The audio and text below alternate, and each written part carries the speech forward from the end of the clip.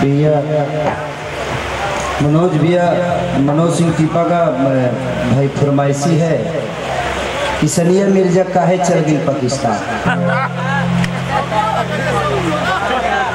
यार भेजवाएँगे का हमको jail?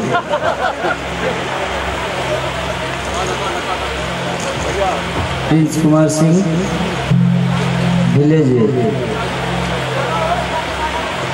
Dahav Bhola Shankar bus service भाई की तरफ़ से पुरस्कार। देखिए, सानिया मिर्ज़ा काहे चली गई पाकिस्तान? मैं पहला ऐसा कलाकार हूँ जो कि अपने पब्लिक के लिए दो दिन जेल में रहा, तिहाड़ में। बारह तारीख का सानिया मिर्ज़ा का सगाई था। पंद्रह तारीख का हमारा कैसेट रिलीज़ हुआ। आ इक्कीस तारीख का हम भी था।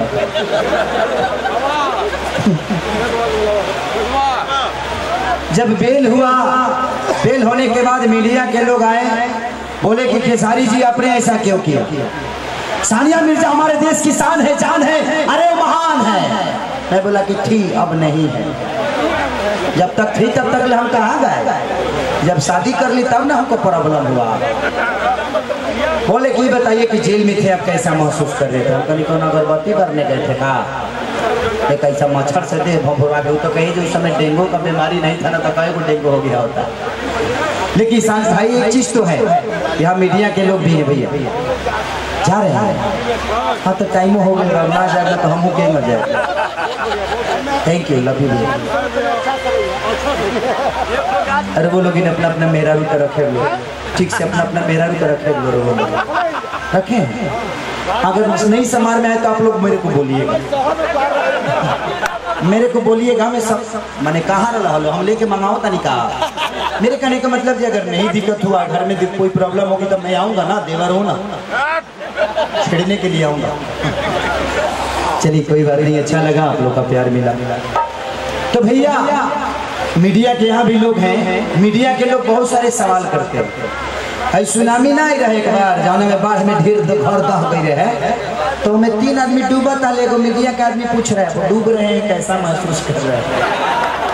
हम कहीं करो के घींच ले महसूस बुझा जाएगा हाँ बचावे के चाहिए तो कहने की जब डूब रहे हैं कैसा महसूस कर रहे हैं? दासा तो हुआ ना। लेकिन देखिए होता है। मुझे तकलीफ़ हुआ मैंने गाया। लेकिन पहला ऐसा स्टार हो कि गायकी की वजह से मैं तीन दिन जेल रहा हूँ। होता है। ज़िंदगी में बहुत सारी अरे करना ही था तो शान से करती। ये तो मोहब्बत की कशिश थी वरना शोएब मलिक में बात ही क्या क्या? ये तो मोहब्बत की कशिश थी, वरना शोएब मलिक में बात ही क्या थी? अरे वो तो सानिया मिर्ज़ा थी जिसने हिंदुस्तान का सर नीचा करवा दिया, वरना पाकिस्तान की औकात ही क्या थी? अरे करना ही था तो शान से करती। करना ही था तो शान से करती।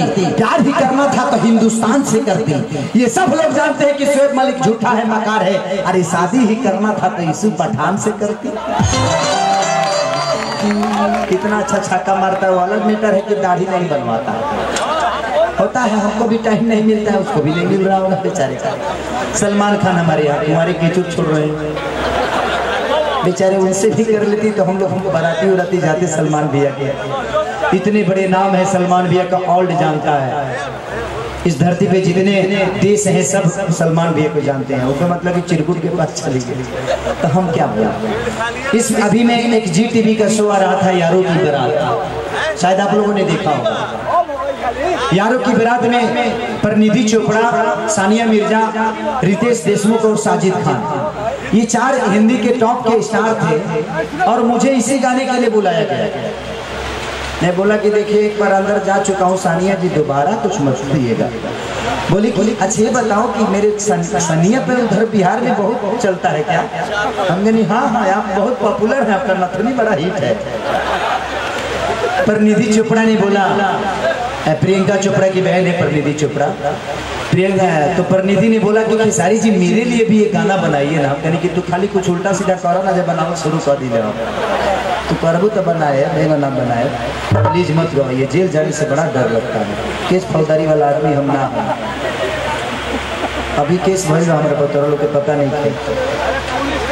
उल्टा सीधा आप आजकल के कलाकार कर रहे हैं और उसका भुगतान खेसारी लाल यादव को करना पड़ रहा है।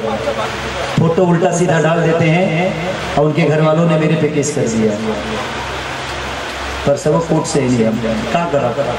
तो होता है, गलती हमारे भाई करते हैं, भुगतान किसी और को करता है। हम गलती करते हैं, हमारे माँ बाप को भोगना पड़ता है। तो कहीं ना कहीं जो आगे होता है, उसको झेलना पड़ता है। होता है। ज़िंदगी हो, चलत रहे ही हो, काटत रहो। आज बाकी ना हंस के जीना है हंस के ही मरना है। आप लोग का प्यार अगर खेसारी के ऊपर है तो ज़िंदगी में मेरा कुछ कोई बिगाड़ सकता है, बिल्कुल नहीं।